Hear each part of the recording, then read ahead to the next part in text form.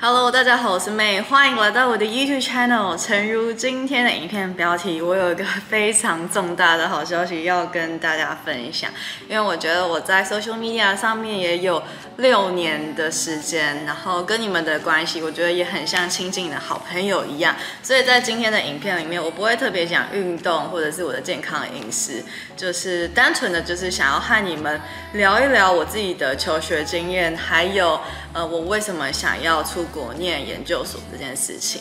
好，那首先呢，我想要先讲到底这个好消息是什么，就是如果你们有在密切的关注我的 Instagram Story 或者是我的 YouTube 的 Blog 生活系列的话，可能就会关注到妹私底下。好像，尤其是这半年啦，都是在很认真的念书、准备考试跟丢申请的状态。确实，就是即便大家看到的我还是有在上片啊，然后还是有在更新动态，可是其实呢，我在家里的状态，就是我家人都知道我压力有多大。就呃，尤其是考试前，因为我总共考了三次雅思嘛，前面两次考了七分，但是都没有达我想要去的 program 的那个门槛，直到最近考了第三次，然后拿到七点五分，我才顺利的拿到两间学校的 offer，一间是伦敦大学，呃 UCL，UCL 的 Creative and Collaboration Enterprise，然后它是由人类学院一群人类学家所开的一个。嗯，我觉得蛮酷的，它是很有前瞻性的课程，它是结合文化创意还有商业的课程，然后它的英文的标准就是要七点五分以上，所以要求是相当的高。然后另外一间的话就是 NYU 纽约大学的嗯 Integrated Marketing，嗯整合性行销学的硕士。对，所以我最近真的是啊，我看到我顺利拿到 offer 的时候，我真的是我在房间，我真的是快哭了，因为这对我来说真的是一个将近半年的折磨。哇，我现在真的是无法掩藏，无法掩饰我内心的狂喜，因为我从去年下半年就有想要出国念研究所的打算，然后从去年尾就开始。考试啊，然后准备很多申请的东西，所以我表面上还是在经营这些就是 social media 东西，可是其实私下是很煎熬的状态。然后我最想去的 program，他们要求的分数很高，要七点五分，然后我一直没有考过。到了上个礼拜最后一次考，第三次考，终于拿到理想的成绩，耶！那今天的影片呢，我想用一个很轻松的方式来聊聊我自己的求学经历，因为很多人都知道我是台大出身，看我的方式就高材生妹，好像一生没有经历过什么阻碍就直达天体，但其实不是，背后其实发生了很多蛮精彩的高跌起伏的故事，等一下可以跟你们分享。然后在影片的下半部分呢，我就可以跟你们多聊聊，尤其是对于现在你也想要准备去国外念书。的人，然后我也想要分享我为什么想要出国念书，然后还有我这段时间是怎么自学雅思，然后还有丢申请的一些 tips 吧。对，都会在这集影片跟大家分享。那有兴趣的话，就跟着我看下去吧。那首先呢，我也想要稍微解开一下有些人对我的疑惑，就是觉得，呃，妹是不是以前在国外长大，所以英文就本身就很好。No，不是，我从小呢就是土生土长的台湾 Gina。那我会说，我小时候其实是一个蛮。木讷文静的孩子，但我很喜欢阅读，所以从小的时候，即便我不是天资聪颖的那一群学生，可是我在班上的成绩也算是名列前茅。然后高中的时候就以差两分的成绩，没有到北一女，就是，但是也顺利的考到呃我很想要进的学校，就是中山女高。那在中山女高的时候呢，我开始沉迷于乐团，然后打鼓。对我那时候的梦想是成为一名鼓手。然后到了高二下半年的时候，嗯，可能玩的太嗨了，然后我的成绩。一下子一落千丈到班上的吊车尾，所以以至于要考学测之前，我都没有办法好好收心。然后再加上那时候我跟我的初恋男朋友，他是呃成功高中的一位男性，对，当时候分手，然后我就哭的，每天都哭得稀里哗啦，根本就没有办法好好专心念书，所以我学测真的是考的奇差无比，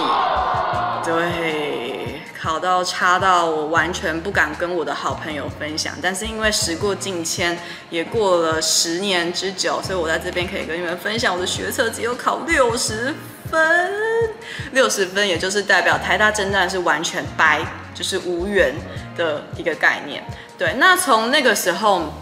我就痛定思痛，问我自己说，这就是我想要过的人生嘛？如果我没有把握最后几个月，因为还有职考嘛，如果我没有把握这几个月全力的冲刺，我会原谅我自己吗？如果我不这么做的话，我会不会后悔？然后我给我自己的答案是，我绝对会后悔。所以在只考前三个月的冲刺期，我记得我那时候是报名那种很魔鬼的冲刺班，然后呃，念书的时间是从早上。早上，反正就很早的时候，一路到晚上十点，我觉得真的很变态。可是那段时间我几乎没有用手机，我每一天就是狂做试题，静下来念书，我也没有社交，就是几乎是一个 focus 百分之百投入在考试的生活。然后最后我就有勾到台大的边，所以最后我的职考的落点是在台大人类系。那进了台大人类系之后呢，我以为我的人生就高枕无忧，毕竟就已经老娘就已经进到台大了嘛。但是呢，其实我根本就不知道人类学 anthropology 是什么。我当时候选系的时候，我就觉得哦，反正台大文组的系，我就随便都填一填。然后最后落点就是老天爷就让我上到人类系，然后我进。校园 campus 的时候，我才发现说，靠，我根本找不到我的人类系系馆，因为其实人类系到现在还是这样，人类系跟哲学系他们是被流放在水源校区，所以我们的系馆非常的破烂。当你进到台大管院，然后看到那么新颖、那么高科技的设施的时候，你真的觉得，我们是同一间学校吗？为什么我们？明明是同一间学校的学生，可是我们享用的设备却差那么多。但我也很开心，因为现在人文大楼终于有在建了，所以大概过几年后，我们的学弟妹就可以过比较好的日子。但是总之呢，呃，因为当时候我就是选校不选系的后果是我根本不知道我的科系在念什么，所以大一大二的阶段我是很迷茫的一个学生。到大二的时候，我开启了 Instagram，当然那又是一个另外不同的 story。但呃。其实我也蛮开心的，是大二的时候，我的系主任就是引领我到文化人类学的一些领域，让我觉得哇，其实人类学是超级酷的一个学科，就是它其实不是只存在于考古学或者是很古老的、很边缘的文化，它其实也可以跟我们生活中呃习以为常的一些呃文化，就是我们想象得到，比如说年轻人使用网络的行为紧密的相依。对，所以其实到到大四的时候，我就有做，就以我自己身为 Instagram blogger 的这个经验，就呃 Instagram 这个网络媒介所带给年轻人的一些 identity 跟 relationship problem。后来这个花了我一年多时间 完成的研究呢，最后其实是有上到考古学的学术期刊。对，忘记他的全名，但是总之呢，就让我从一个很混的学生到一个，哎，怎么变得还蛮厉害的学生？那我台大毕业之后要做什么呢？就即便那个时候我已经在 Instagram 累积了几万的粉丝，可是我从来不把它当成是一个真的有发展性的 career。说真的，我当时候就是这么想，我那时候只一心想着我要帮我爸的事业。那我爸是做制造业的 manufacturing，所以我那时候想要申请的国外研究所，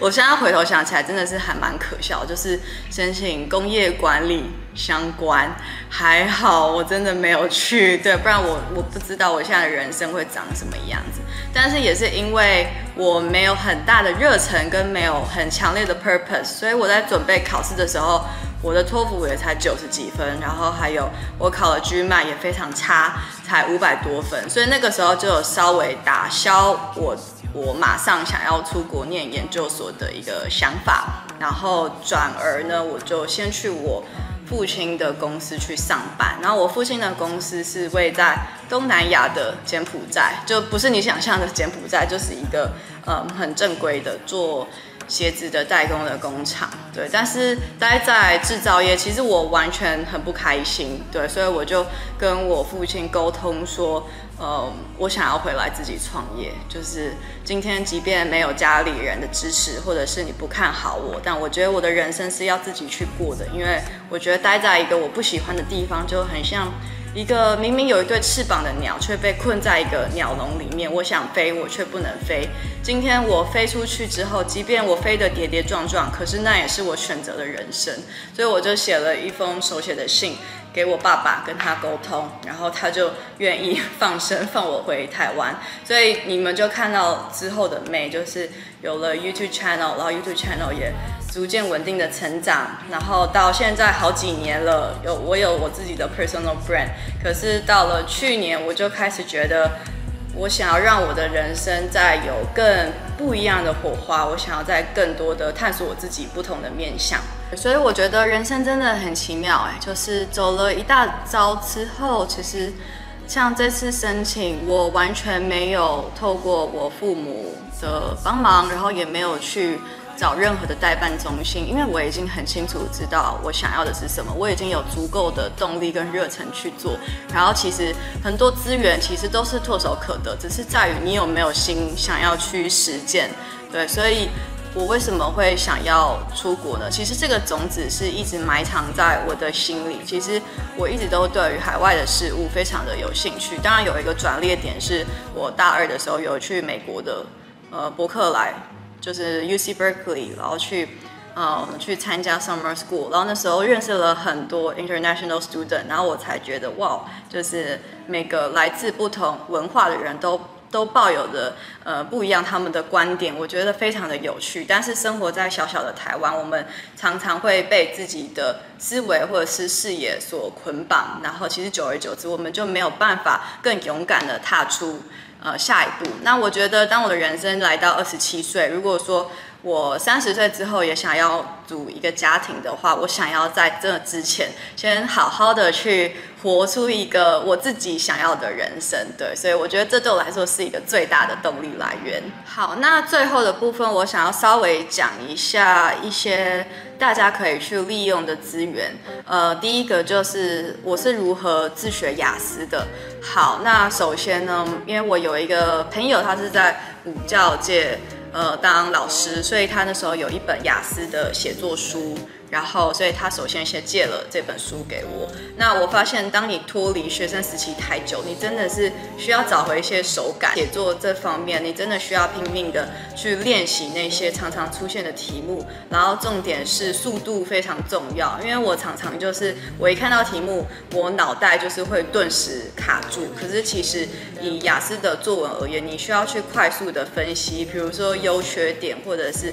正反面的讨论，而且你不能只是。是用那些 outline 的那种句子，当然我觉得运用那些句子很重要。可是最重要的是你要拥有你自己的观点，然后你要很明确的说出自己的立场，然后再搭配一些比较强而有力的 example。那写作是我最大的弱点，所以也是我花最多时间的地方。我前面两次考写作都只有六点五分，然后后面是后面最后一次是七分，所以我也觉得我没有太多的资格可以跟大家分享太多的写作的技巧，因为我觉得这也是我的弱项。那听力的部分，我觉得哇，雅思的听力真的是超级 tricky，因为雅思你只能听一次而已，所以在听的部分你很容易慌。可是要诀就是你真的不能慌，而且你要去练习 active listening 的技巧，就是当那个 speaker 说什么的时候，其实基本上雅思它发音都还算是不会太快，又是清楚，所以你仔细去听，你一定听得懂他在讲什么。但是如果你慌，或者是你想到靠。我上一题我没有听到怎么办？我完蛋了。那你接下来的好几题你可能就会 miss 掉，然后反而会造成更大的疏忽。所以听力它比较 tricky 的是它只有一次，所以你一定要在还没有听到之前呢，你就要赶快先阅读题目。那有一些介系词的部分可以让你先去猜想说这个待会会出现的是一个地点或者是时间。等等，就先去猜题目，然后还有要注意语气的转折，因为常常会有陷阱。一下这个 speaker 说什么，可是下一句可能他又会改变他的说辞。我觉得听力很很棒的免费资源，就是你去 YouTube 上面打 IELTS listening，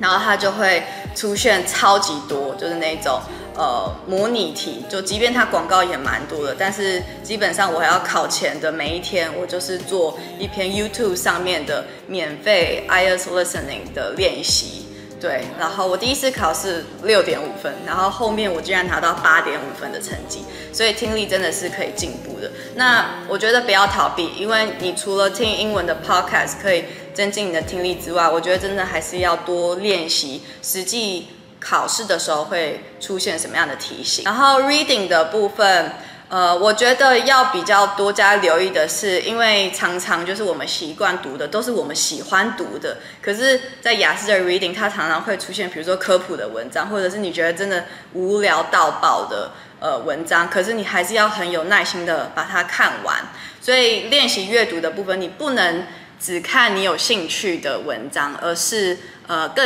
广泛的，可能带有很多专有名词的文章，也要多练习。我也会在下面资讯栏附上，就是 Cambridge 它有大概有出四个免费的模拟题的题目。然后我觉得做 reading 很重要的是，你不用觉得你每一字每一句都一定要看懂读懂，对，反而是你一定要在开始阅读之前，就先从。题目里面去掌握说，呃，他要问的是什么，然后再从文章里面去找答案。那讲到口说这部分，我觉得口说真的是台湾人的弱项，因为我们也不像亚洲的其他城市，比如说新加坡啊等等。但是日韩好像也不太对，反正我觉得口说真的是亚洲学生的一个弱项。当然，如果你身边有外国朋友的话，我觉得就是尽可能的跟他们练习，你们就你就不会去害怕。讲英文这件事情，对，那我自己的话，我其实是买 Amazing Talker 的课，我这边完全不是要夜配，因为呃，这是我自己花钱去报名的，大概大概前前后后加起来有二三十次的一对一的练习，然后你可以选择二十五分钟或者是五十分钟，然后对的都是真人，所以我有一名老师，他是加拿大的老师，然后另外一名是菲律宾的老师，那我觉得 Amazing Talker 他的。优点就是它是很 flexible，就是你任何的地点、任何时候都可以参与口说的练习。然后在价目上面，它也不会太贵。然后我有一个老师，他也顺便就是可以帮我去修改文章。所以如果你问你的老师的话，有时候他除了教你 speaking，他其实也可以帮你去修改文章。我觉得对我来说是蛮大的帮助。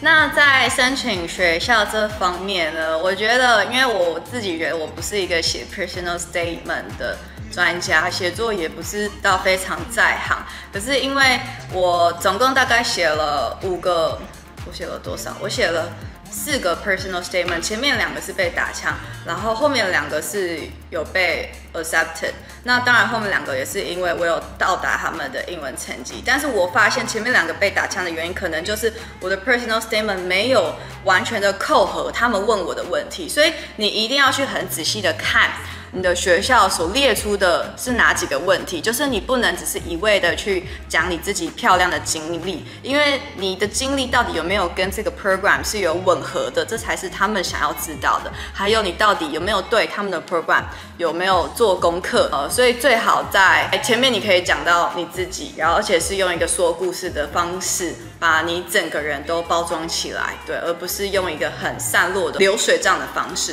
然后在后半段的部分我觉得你要更多的就是去描述到说你为什么会想要去 attend 这个 program，这个 program 对你来说有哪几个吸引人的地方。然后你进去之后，你会对于尤其是对于哪几个课程有兴趣。那当然就是到底要怎么写，还是要看每个 program 它设下的规定都不太一样。